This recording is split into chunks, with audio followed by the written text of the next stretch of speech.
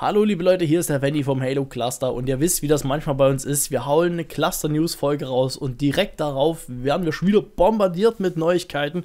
Deswegen gibt es auch hier direkt Folge 14 für euch. Ich wünsche euch viel Spaß.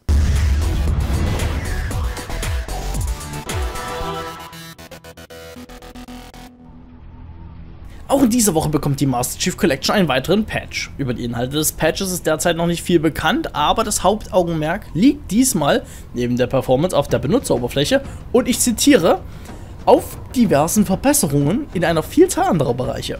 Hm. Sobald jedoch der Zertifizierungsprozess abgeschlossen ist, will der Entwickler Punkt für Punkt erläutern, was im Spiel verbessert wird. In einem Patch letzte Woche wurden uns ja schon neue Achievements gebracht, Ihr erkennt jetzt auf der Master Chief Collection, sobald ihr die euch anschaut, dass man bis zu 5000 Gamerscore spielen kann. Das heißt, es sind 500 neue Gamerscore gekommen. Darunter befinden sich Erfolge rund um die Spartan Ops Mission sowie neue Erfolge für den Multiplayer, indem man zum Beispiel diverse Medaillen sammeln muss, legendäre Medaillen oder Assist-Medaillen. Schaut einfach mal rein, es gibt jetzt wieder eine Vielzahl von Gamerscore zu machen für die Achievement Hunter da draußen.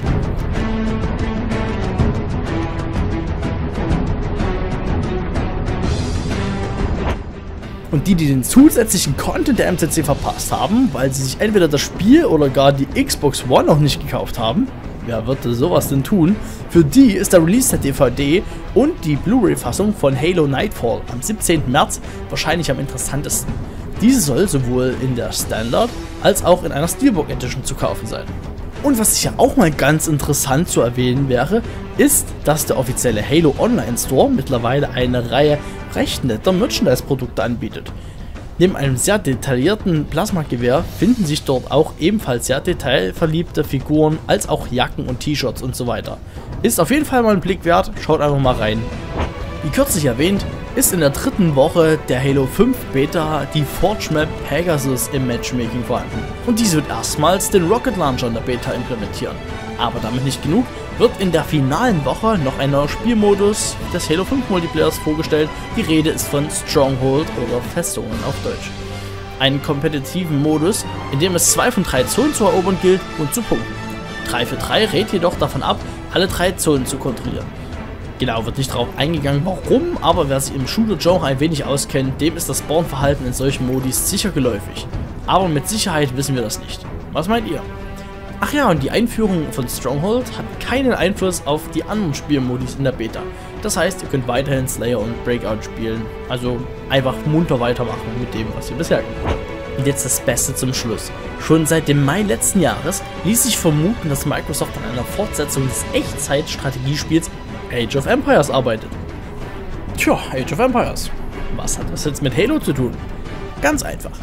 Ein kürzlich neu erschienenes Stellenausschreiben zeigt uns, dass an jenem Spiel wahrscheinlich immer noch mit Hochdruck gearbeitet wird. Darin sucht man einen Senior Software Engineer, welcher die nächste Generation großartiger Spiele für Windows und Xbox einleiten soll. Auch wolle man ein beliebtes Strategie-Franchise zur nächsten Generation führen. Genau gesagt wird jemand für das Decisive Games Team gesucht, das wahrscheinlich ein neu gegründetes internes Microsoft Studio sein wird da die Marke Age of Empires nach seinen Online-Free-to-Play-Titel enorm einstecken musste und Halo Wars, ja, Halo Wars, bislang keine Fortsetzung bekam und das seit mittlerweile schon sechs Jahren, liegt es nahe, dass es wohl möglichst bald eine Fortsetzung geben könnte. War doch eine klasse Sache, oder? Was haltet ihr davon? Das war es erstmal von der heutigen Folge. Eine recht kurze Folge mit doch interessanten Themen mal wieder. Was haltet ihr von den heute genannten Themen? Schreibt uns einfach mal in die Kommentare. Und ja, ansonsten, wie immer, Feedback, Kritik, ein paar nette Worte sind immer wieder gern gesehen bei uns und machen uns das Leben hier bei YouTube mit euch zusammen noch ein bisschen süßer. Also immer schön weiter aktiv bleiben, meine Freunde. Ich verabschiede mich jetzt im Namen des Clusters, wünsche euch noch einen wunderschönen Tag und ja, sage einfach mal, euer Benny ist raus. Macht's gut.